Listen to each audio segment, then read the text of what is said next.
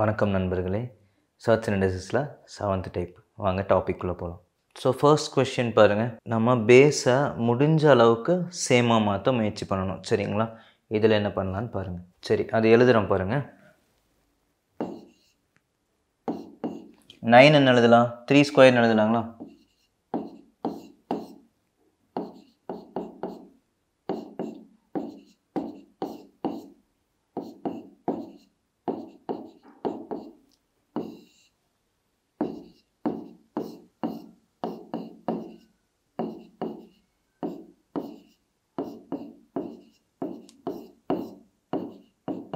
இப்போ என்ன பண்ணியிருக்கோம் நம்ம? எங்கெல்லாம் நைன் இருந்துச்சோ அதெல்லாம் த்ரீ ஸ்கொயராக மாற்றிருக்கோம் அவ்வளோதான் வேறு எதுவுமே பண்ணல.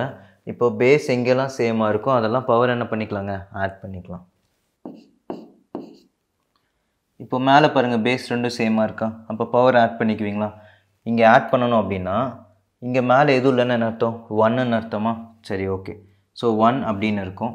அப்போது த்ரீ பவர் பேஸ் ரெண்டும் சேமாக இருக்குது பேஸை காமனாக எடுத்துகிட்டு பவரை மட்டும் ஆட் பண்ணுறேன் இங்கே ஒன் இருக்கும்.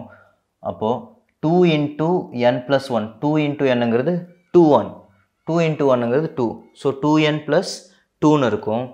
Two N plus two plus இங்கே ஒன்று இருக்குது ஆட் பண்ணிங்கன்னா டூ என் ப்ளஸ் த்ரீன்னு கிடைக்கும். புரிஞ்சு இல்லைங்களா?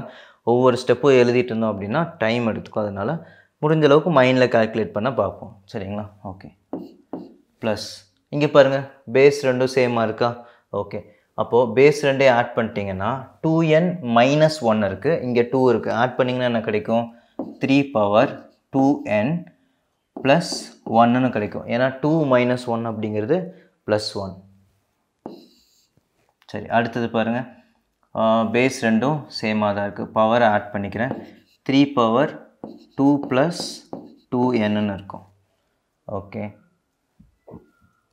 மைனஸ் சிக்ஸ் இன்ட்டு இதை உள்ள மேலே மல்டிபிள் பண்ணிங்கன்னா three power two N minus டூன்னு கிடைக்கும். சரிங்களா? ஓகே நெக்ஸ்ட் என்ன பண்ணலான்னு பாருங்கள் இப்போ எது காமனாக இருக்கோ அதை அப்படியே வெளியே எடுத்துடலாம். சரிங்களா? எது காமனாக இருக்குன்னு பாருங்கள் three power two N three power two N three power two N three power two N காமனாக இருக்குங்களா? ஸோ அதை எடுத்து வெளியே எழுதிக்கலாம். ஸோ அங்கே இருக்க த்ரீ பவர் டூ என் எடுத்து காமனாக எழுதுகிறேன் பாருங்கள் த்ரீ பவர் டூ என் காமனாக எடுத்து எழுதிட்டேன். பேலன்ஸ் என்ன இருக்கும்? த்ரீ பவர் த்ரீ இருக்குங்க. சரிங்களா? த்ரீ பவர் டூ என்ன இருக்கும்? அதை எடுத்துட்டேன்னா பேலன்ஸ் என்ன இருக்கும்? த்ரீ பவர் த்ரீ இருக்கும் எழுதிட்டேன். ப்ளஸ் இங்கேயும் த்ரீ பவர் டூ என்ன வெளியே எடுத்துட்டேன். வேறு என்ன இருக்குங்க? த்ரீ பவர் ஒன் இருக்கும். ஓகே கீழே பாருங்கள் த்ரீ பவர் டூ என் இங்கேயும் காமனாக வெளியே எடுத்துட்டோம். வேறு என்ன இருக்குங்க? ப்ராக்கெட்குள்ளே த்ரீ பவர் டூன்னு இருக்கும். தென் மைனஸ் சிக்ஸ் இன்ட்டு என்ன இருக்குங்க? த்ரீ பவர் மைனஸ் டூ இருக்குது த்ரீ பவர் மைனஸ் டூவை எப்படி எழுதலாம்னா ஒன் பை த்ரீ ஸ்கொயர்னு எழுதலாம். One by three square three ஸ்கொயர்னு என்னங்க? நயன் ஒன் பை நயன் எழுதுகிறேன் இது வரைக்கும் புரிஞ்சு இல்லைங்களா? ஓகே இப்போ பாருங்கள் இதை கேன்சல் பண்ணிக்கலாமா? இது டூ டைம் கிடைக்கும். இது என்னென்னு பாருங்கள் த்ரீ டைம் தேர்ட் டேபிள் அடிச்சிங்கன்னா அது டூ டைம் இது என்ன கிடைக்குதுங்க? த்ரீ டைம் கிடைக்கும். ஓகே சரி நெக்ஸ்ட் என்ன பண்ணுறேன்னு பாருங்கள் இதை. ஓகே இதில் என்ன இருக்குதுன்னு பாருங்கள் three power two N three power two என்ன கேன்சல் பண்ணிட்டோம். ரிமைனிங் என்ன இருக்குது த்ரீ ஸ்கொயர் அப்படிங்கிறது twenty seven plus three add பண்ணிங்கன்னா என்ன கிடைக்கும்? Thirty by three square nine nine minus two by த்ரீன்னு இருக்கும். கரெக்டுங்களா த்ரீ ஸ்கொயர் பண்ணிட்டு மைனஸ் டூ த்ரீ எடுத்து அப்படிங்க எழுதிட்டோம். இப்போ இதை என்ன சால்வ் பண்ணலான்னு பாருங்கள் இந்த தேர்ட்டியை அப்படியே வச்சுக்கிறேன். இந்த த்ரீ இன்ட்டு நைன் பண்ணிங்கன்னா டுவெண்ட்டி செவன் மைனஸ் டூ பண்ணிங்கன்னா டுவெண்ட்டி ஃபைவ் பை த்ரீன்னு கிடைக்கும். ஓகே நெக்ஸ்ட் ஸ்டெப் இப்போது டுவெண்ட்டி ஃபைவ் பை த்ரீன்னு இருக்கிறது அப்படியே மேலே கொண்டு போனீங்கன்னா நான் ரெசிப்ரோக்கெலாம் மாறும் இல்லைங்களா?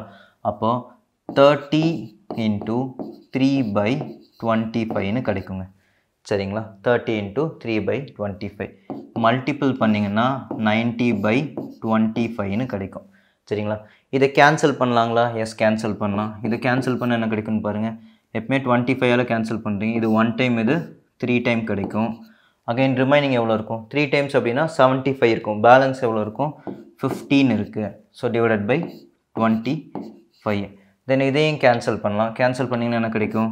இது த்ரீ டைம்ஸ் போகும் இது ஃபைவ் டைம்ஸு அப்போ என்ன இருக்குதுன்னு பாருங்கள் த்ரீ த்ரீ பை ஃபைவ்னு இருக்குது ஆப்ஷன் இருக்குங்களா? எஸ் ஆப்ஷன் ஏ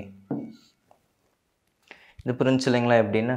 இது பாருங்கள் இப்போ த்ரீ ஃபார்ட்டி த்ரீ அப்படிங்கிறது என்னென்னா த்ரீ பவர் ஃபைவ் சரிங்களா? த்ரீ பவர் ஃபைவ் அப்படிங்கிறது த்ரீ ஃபார்ட்டி த்ரீ அதை எப்படி எழுதிக்கலாம் அப்போது த்ரீ பவர் ஃபைவ்னு எழுதிக்கிறோம். Okay n by five into three two n plus ஒன்று நைன் எப்படி எழுதுவீங்க? த்ரீ ஸ்கொயர்னு எழுதலாமா?